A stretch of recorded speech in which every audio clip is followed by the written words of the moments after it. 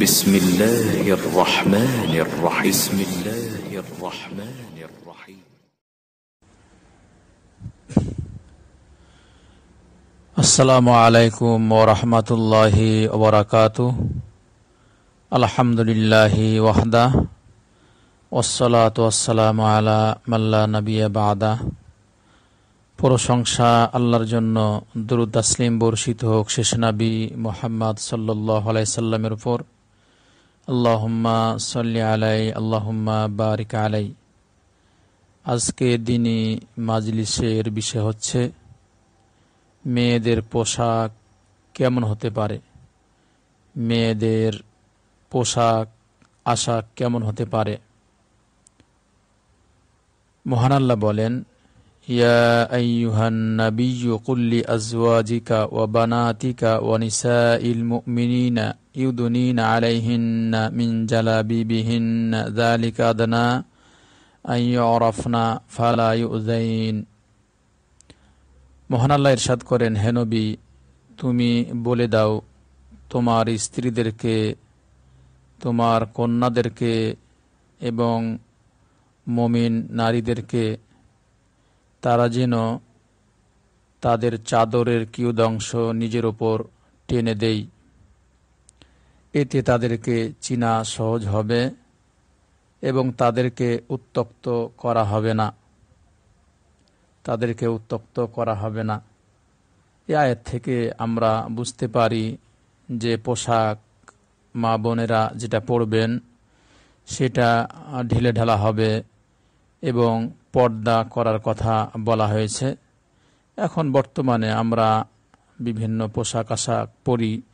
তো যেই পোশাকই হোক, যাতে আপনার ঢিলা ঢালা পোশাকটা হয়, মা বোনদের পোশাক ঢিলা ঢালা হয়, আর এ পোশাক যাতে তার অঙ্গ প্রত্যঙ্গ কোনো স্পষ্ট কিছু না বোঝা যায়, স্পষ্ট কিছু না বোঝা যায় তা আমরা সেইভাবে যে পোশাকে আমার যে পোশাকে মা বোনদের নিজের ইজ্জত আবরু ঢেকে থাকবে এবং কোনো কিছু বোঝা যাবে না, সে পোশাকের প্রতি তারা আর বাইরে বের হলে, বাইরে বের হলে পর্দা পুশিদার সহিত বের হবে, পর্দা করে বের হবে যাতে করে আল্লাহ সুহাতালা তাদের এভাবে হেফাজত করেন।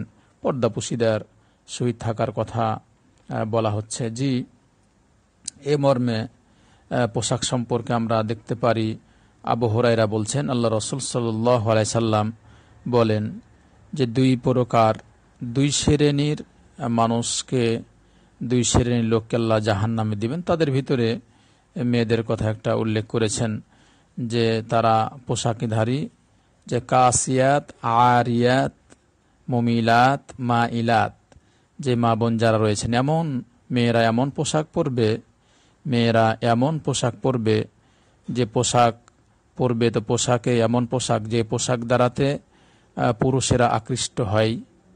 মানে এমন পোশাক পরবে যে পোশাকের কারণে মেয়েদের সব কিছু স্পষ্ট বোঝা যায়।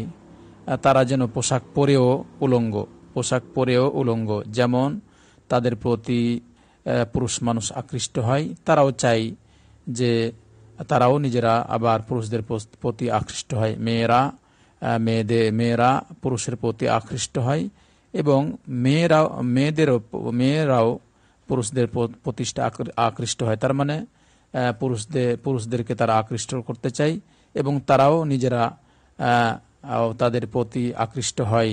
এইভাবে তারা পোশাক পোশাক আশাক পড়ার চেষ্টা করে। তো এরূপ যদি হয়, তাহলে হাদিসে বলছে আল্লাহ রসুল্লাহাম তারা জান্নাতে প্রবেশ করবে না। এবং তারা জান্নাতের সুগন্ধিও পাবে না। অথচ অনেক দূর থেকে জান্নাতের সুগন্ধি পাওয়া যাবে।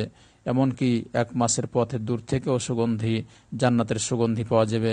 ইমাম মুসলিম হাদিসটি নিয়েছেন। তাই যে বিষয়টি হলো যে বর্তমানে আসলে পোশাক আশাক যেভাবে পড়ছে মা বোনেরা, এগুলা অত্যন্ত কঠিন ও জটিল। তাই পোশাক যেমন ছেলেরাও তার পোশাকটা ঢিলা ঢালা হওয়া দরকার, অনুরূপী আর মেয়েরাও ঢিলা ঢালা কারণ যে মেয়েরা যদি খুব চিপা চাপা পোশাক পরে, তাহলে তাদের অঙ্গ প্রত্যঙ্গ বোঝা যায়। তাতে পুরুষেরা আকৃষ্ট হয় এবং তারাও পুরুষদের প্রতি আকৃষ্ট হয়। এ পোশাক পরা নিষেধ করা হয়েছে এবং জাহান নামে প্রবেশের একটা কারণের কথা বলা হয়েছে। আবু হরাইরা বলছেন আল্লাহ রসুল সাল্লাহ সাল্লাম ওই পুরুষদেরকে উপর লানত করেছেন। যারা মেয়েদের পোশাক আশাক পরে, তার মানে মেয়ে যারা সাজে মানে মেয়েদের পোশাক আশাক পুরুষেরা পরে এবং নারীরা ছেলেদের পোশাক আশাক পরে। এদের প্রতি লানত করা হয়েছে, এদের প্রতি লানত করা হয়েছে যে যে সমস্ত পুরুষেরা মেয়েদের পোশাক আশাক পরে এবং যে সমস্ত মহিলারা ছেলেদের পোশাক আশাক পরে, এদের প্রতি লানত করা হয়েছে। ইমাম আবু দাউদ রহমল্লা হাদিসটি নিয়ে এসছেন। তাই যে বিষয়গুলা আমাদের লক্ষ্য করা দরকার, যে পোশাক আশাক পরলে যে পোশাক আশাক পরলে তা কশিল মনে হয়, সে পোশাক আশাক পরতে হবে।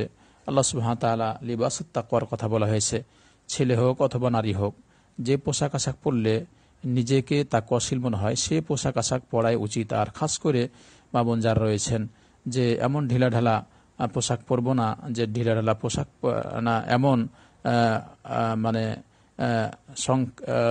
সংকীর্ণ বা এমন ছোট পোশাক বা এমন আটো সাটো যে পোশাক পরলে আপনার সব ইজ্জত আবরু বোঝা যায়, এ পোশাক থেকে নিজেকে রক্ষা করতে হবে। এ পোশাক থেকে নিজেকে রক্ষা করতে হবে। অন্য হাদিসে আল্লাহ রসুল সাল্লাম বলেন যে পোশাক আশাক, যে যারা, যে সমস্ত মেয়েরা পুরুষ সাজে আর পুরুষরা নারী সাজে, এদের প্রতি লানত করা হয়েছে। তাই পোশাক আশাক বিষয়গুলা আমাদের দেখতে হবে যে যে পোশাক আশাক পরলে তাদের ইজ্জত, আবরু, হেফাজত থাকে সেগুলা, পোশাক আশাক। এমন পোশাক আশাক না যেগুলা পরলে মেয়েদেরকে দেখে পুরুষেরা আকৃষ্ট হয় এবং তারাও চায় যে পুরুষদেরকে আকৃষ্ট করতে। তো এর থেকে নিজেকে রক্ষা করতে হবে। এগুলো অত্যন্ত কঠিন ও জটিল।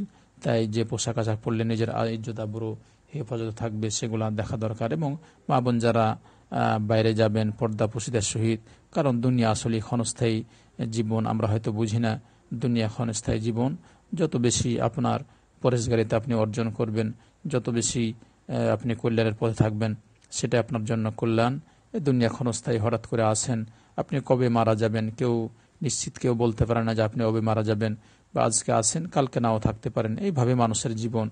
তাই এত অহংকার বা এত কিসের রূপ চেহারা আপনি কাকে দেখাবেন? আপনার স্বামী স্বামী আছে, স্বামীকে দেখান। স্বামীকে দেখান, মানুষকে দেখিয়ে পাপ কুড়া অন্যকে পাপি করছেন, নিজে পাপি হচ্ছেন, পরকাল হারাচ্ছে, এগুলো থেকে নিজেকে রক্ষা করাই দরকার এবং পরকালীন কল্যাণের জন্য যেটা কল্যাণ সেদিকেই মানুষের মানুষের ছোটা দরকার, যেটা কল্যাণ, ইহকাল, পরকাল যেটা কল্যাণ হবে সেদিকে দেওয়া, যাওয়া উচিত।